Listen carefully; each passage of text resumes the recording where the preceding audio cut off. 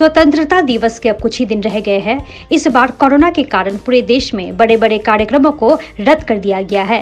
जागरूकता के बीच स्वतंत्रता दिवस से पहले बाजारों में तिरंगा मास्क की धूम मची है। सिलीगुड़ी के विभिन्न बाजारों में इस साल तिरंगा मास्क बेचा जा रहा है। गौरतलब है की हर साल महावीर स्थान विधान मार्केट में झंडे, तिरंगा कपड़े और बैच की खरीदारी के लिए लोगों की भीड़ लगती थी।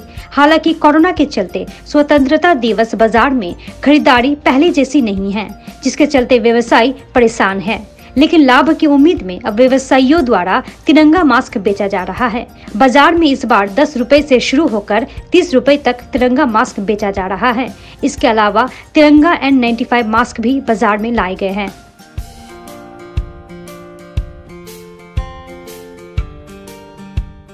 মাঝখানে যে পতাকা এটা আছে আর এমনি এন নাইনটি ফাইভ হবে এটা আপনি আমাদের বিক্রি আছে দশ টাকা। এই দশ টাকা, বারো টাকা এরকম রেটে বিক্রি।